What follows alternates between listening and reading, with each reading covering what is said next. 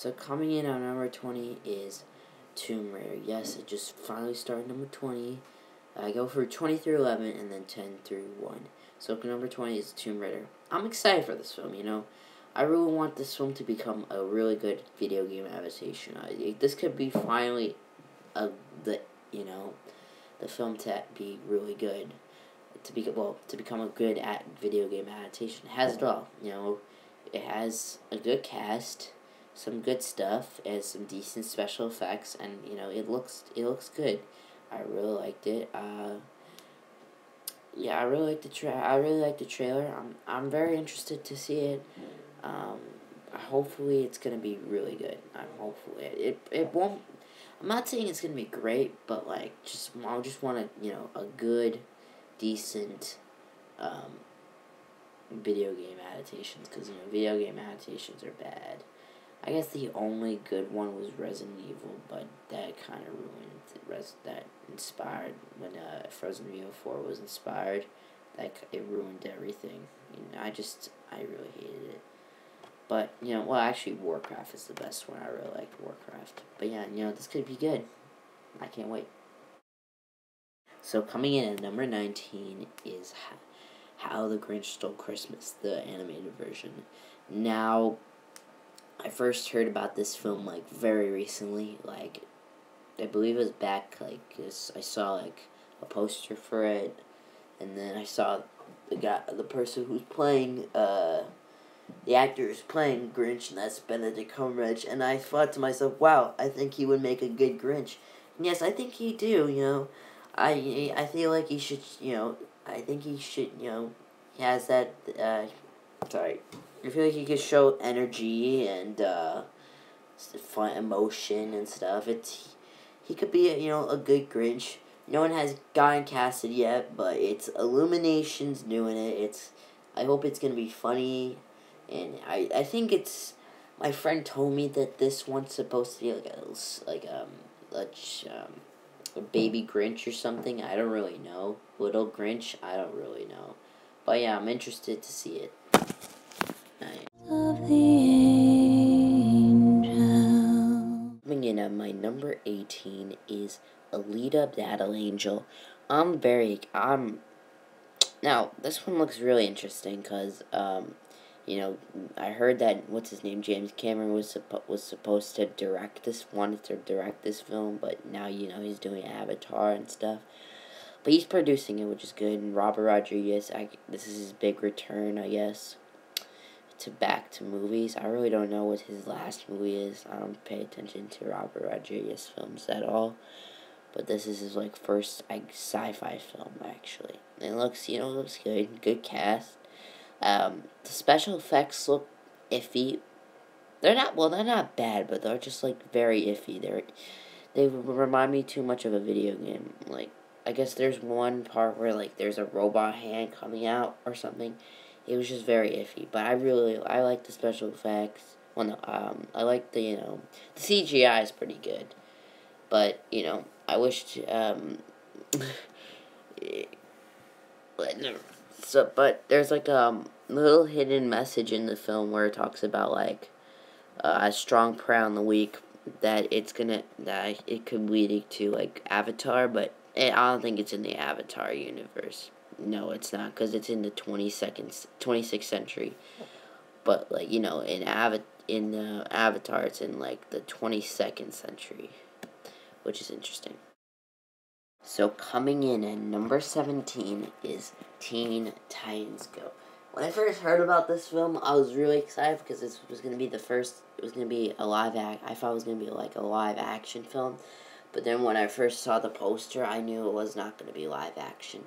Which you know, it, I wish there was gonna be. I wish there was a Teen Titans uh, Go um, live action movie.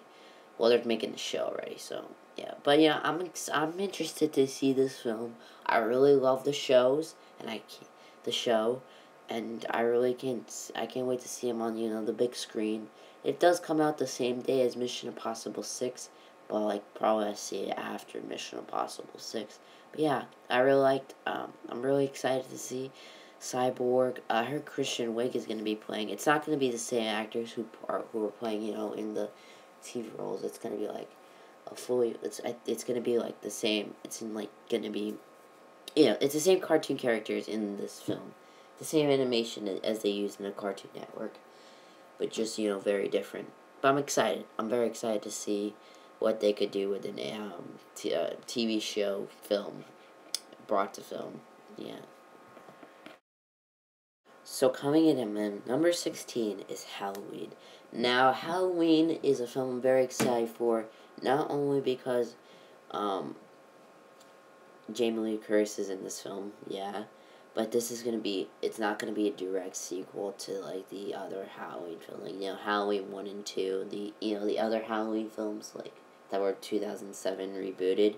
It's gonna be straight um, directly in the other um, Halloween universe in the 70s one. And it's supposed to be like the finale of Halloween. It's supposed to be the last one. Jamie Lee Curtis is back in this film, which I haven't seen her in a long time. I'm like, you know, Danny McBride's uh, direct, uh, is um, doing like I think he's producing the film. I don't really. I think he well, uh, he's the producer of the film. I don't know who's the director, but this is supposed to be the last one. Universal has the rights to this film now. Dimension Films. Well, I think Dimension Films has the rights, but I'm excited. You know, I love Halloween. I love the Halloween franchise. I can't wait to see the finale of this film. So coming in at number fifteen is Wreck It Ralph two. I love the I love the original Wreck It Ralph. It's one of my favorite animated films that came out. It was really fun, and it was um, the best film, and I watched it like during like her when the hurricane when we had like no school during hurricane. I had I watched Skyfall and this. This was the two films I saw in the theater.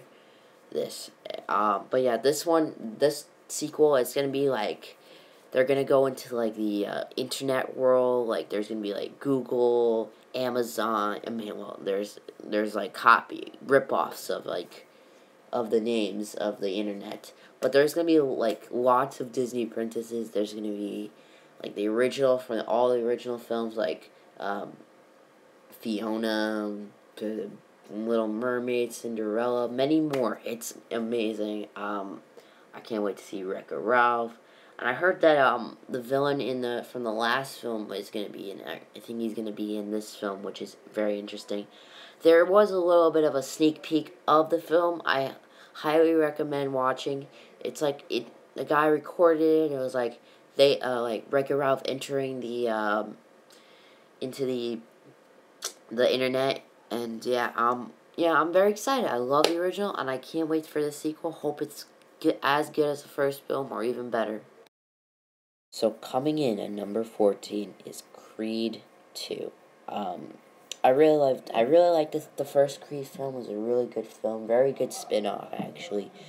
Um, explaining uh, a lot about his uh, Apollo Creed's son into this film, which is very interesting. And um, but Creed two, I'm very excited for because Dolph Lundgren is ba- is coming back into this film.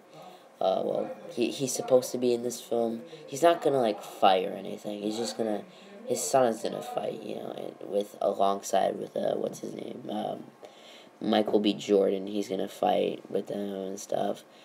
But yeah, I'm excited. I love. I can't wait to see Dolph Lundgren in this film. Uh, Sylvester Stallone is coming back, obviously. Sylvester Stallone is not gonna direct this film. It's gonna be another director. I forgot. But yeah, yeah, and also Ryan Coogler won't direct because you know obviously he's doing uh, Black Panther right now.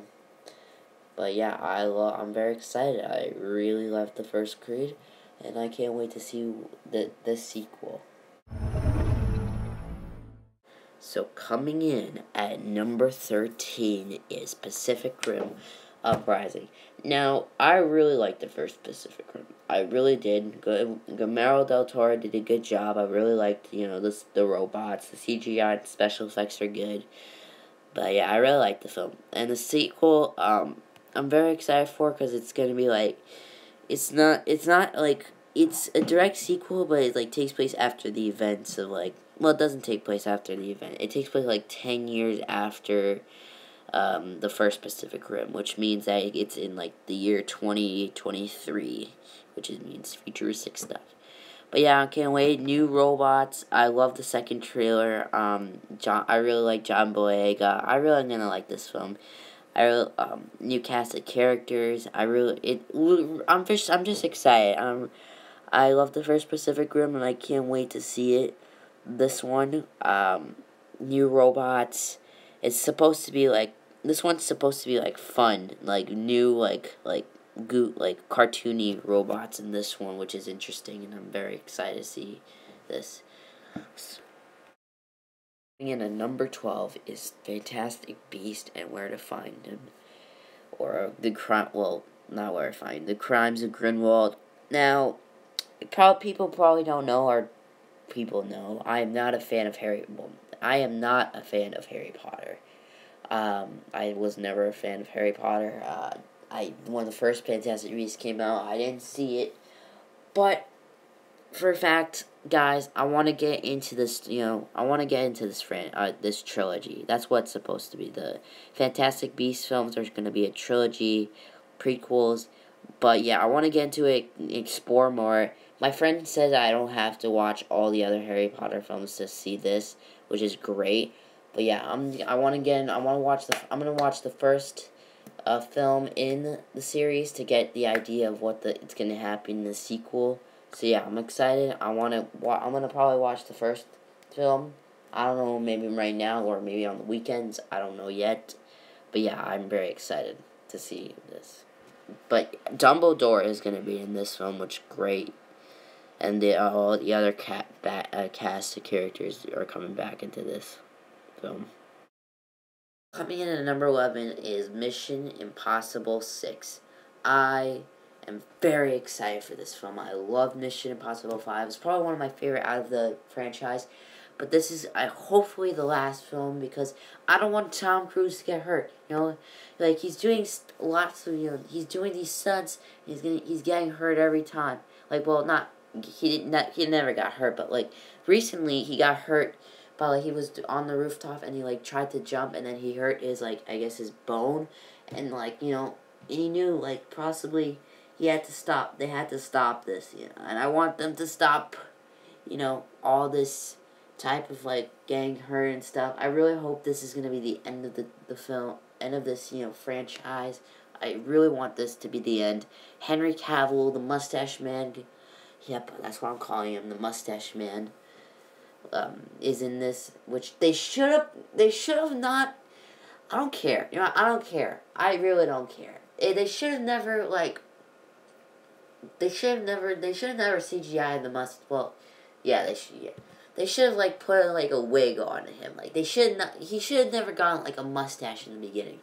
But yeah, um, uh, Tom Cruise's wife is returning in this film, well, in the movie and other new characters are returning as well, which I'm very excited for. But yeah, number 11, uh, Mission Impossible 6. Well, I don't say that a lot, but here for my stuff.